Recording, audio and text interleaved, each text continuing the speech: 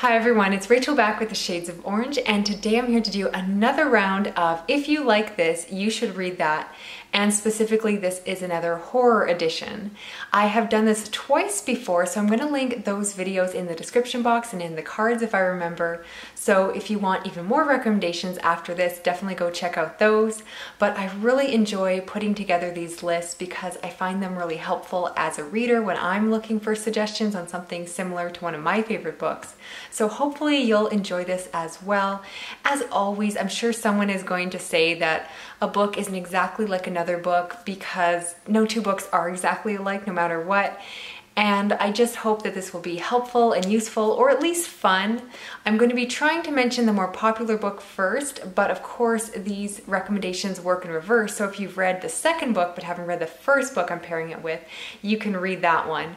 All that being said, let's get started. First, I want to do a recommendation for those of you that love A Head Full of Ghosts by Paul Tremblay, which of course is about a family that is down on their luck and they are in the midst of the recession. Their older daughter is acting strangely. They believe that she is possibly possessed. They really don't have the money to give her proper medical care. So instead they turn to the church and end up hiring an exorcist to exorcise that demon because they are short on cash, they agree to go on a reality TV show that is going to film the exorcism. And this is a story that is told from the perspective of the younger sister. Now, I really enjoy that horror story, but for a lot of you, I think you can agree that if you've read it, it is a little bit more of a quiet horror story. So I'm actually going to recommend that if you like that book, you should read this mystery book. And the book I'm going to pair it to is Broken Harbor by Tana French. And this is a story that is about a family that was massacred in their home and it follows two detectives that of course are trying to solve the mystery of who done it. But the reason I want to compare these two books is that they are both about families that are struggling for cash. They're in the midst of the financial recession. And while one book is horror, one book is a mystery, at the center of both stories is really the character work and the development because it's really about the breakdown of families under stress and how that changes them. So yes, this book is not horror, but it definitely does have some darker moments. Tana French is not afraid to write some gruesome murder scenes, so keep that in mind. And if you're looking at this online, you'll notice it is the fourth book in the Dublin Murder Squad series, but those are all companion books, so you can definitely read this book as a standalone and it won't spoil you for the previous books. And I just read this book and really thought it had a lot of similarities to Head Full of Ghosts, so hopefully you'll feel the same way. Next, I want to give a recommendation for those of you that love Misery by Stephen King. This, of course, is the classic story of an author who is injured in a car accident and he is rescued by his ultimate fan. However, that fan turns out to be a bit of a psychotic nurse and she basically holds him against his will. She gets him addicted to drugs and forces him to write her another novel. I think most of you know that story and it's definitely a classic one. So I want to pair it with a book that is technically shelved as a thriller, but I definitely think it could also be shelved as horror.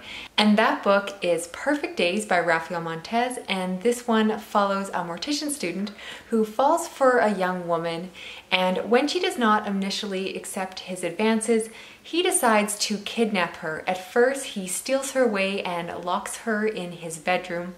However, soon enough, he takes her out in his car and they go on a road trip around Brazil. She is an aspiring screenwriter, so he really encourages her to use the trip as inspiration for her next screenplay. And from the synopsis, you can definitely see there's some similarities to Misery. I wouldn't be surprised if the author was inspired by that book because again, you have a character that is obsessed with someone else.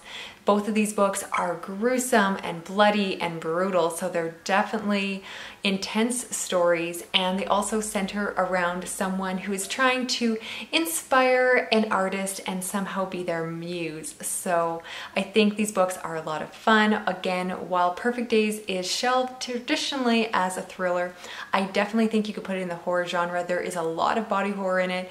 It's very devastating, very brutal as I mentioned, and I would definitely recommend it. It was a lot lot of fun. Next, for those of you that enjoy the classic story Rosemary's Baby by Ira Levin, which is about a couple that move into a beautiful apartment. It seems so good to be true. And they are greeted by their neighbors who are very friendly, but possibly a little bit over enthusiastic and soon enough they become pregnant and the story follows them through their pregnancy as their neighbors become more and more obsessive. I don't want to give away too much of that book, but I absolutely love it. And so I was really excited when I found a book that reminded me a lot of it. So if you enjoy Rosemary's Baby, I would recommend trying The Sentinel by Jeffrey Konvitz. And this is a story about a single model that moves into a beautiful new apartment. However, she discovers that there is a ugly, blind priest that is always staring at her through his window. Otherwise, the other neighbors in the apartment building seem to be very friendly and gracious, if not just a little bit weird, but she puts up with them because the apartment is great. And I think you can tell from those two synopses that these books definitely have similar setups.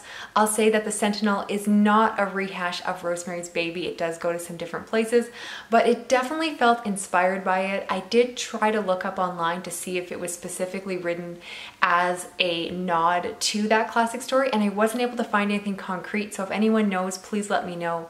But personally, I am quite certain that the author was a huge fan of Ira Levin's book when he wrote this one.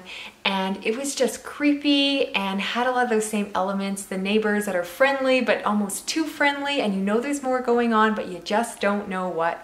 And I love those stories. So definitely recommend either of these books. If you've read one but not the other, go back and read the one that you haven't read yet. Next, I want to talk about The Ring by Koji Suzuki.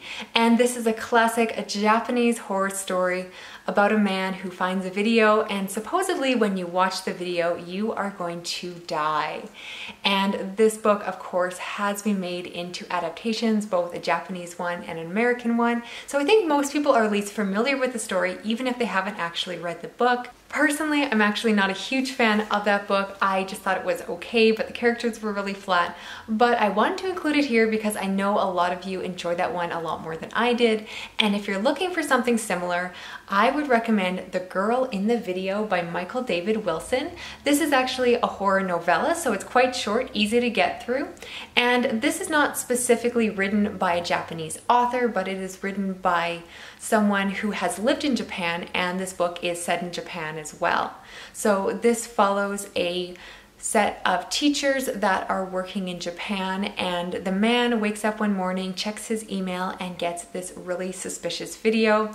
It is both erotic but also somewhat sexually violent and it involves this woman who is very explicit with a Hello Kitty mask on. He is very intrigued if not a little bit concerned by this video and soon enough this character starts to become more present on his social media. And this book is compared on this back to The Ring, and I definitely saw those comparisons when reading it. Again, it's not an exact replication, but if you're someone who enjoys horror stories that incorporate technology, this is a great one to check out. It's, of course, much more modern, so instead of a videotape, you are looking at YouTube and Instagram and all of our modern social media that we have today.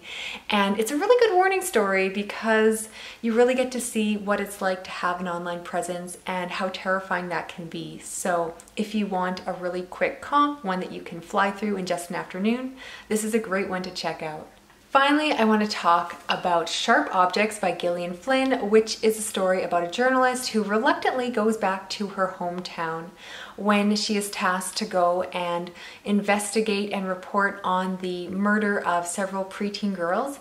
And her reporter boss thinks that this might be the start of a serial killer case and wants to be the first one to report on it. She's reluctant to go back because she has a very difficult relationship with her family, specifically her mother, who is a very, very difficult woman to deal with but she has to do the job and so she goes there and she becomes entangled in this case.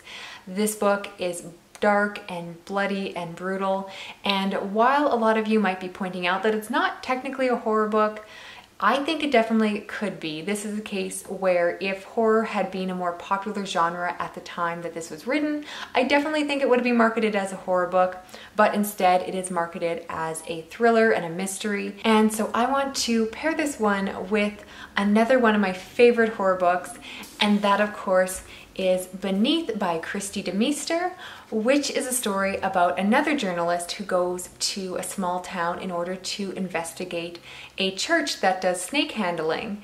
And she also has a really difficult past there. She has left the church, has a very difficult, troubled relationship with her own family and mother, but she goes there to do the job. And you can see from that synopsis that these books have very similar beginnings. They do go in some very different directions, and I don't want to over compare them because I want you to know that this one is quite different of itself. And I think comparing any book to Gillian Flynn's work is a little bit dangerous only because people go into any comparison with such high expectations. But regardless of that, I do consider Kristi DeMeester to be one of the closest writers to Gillian Flynn.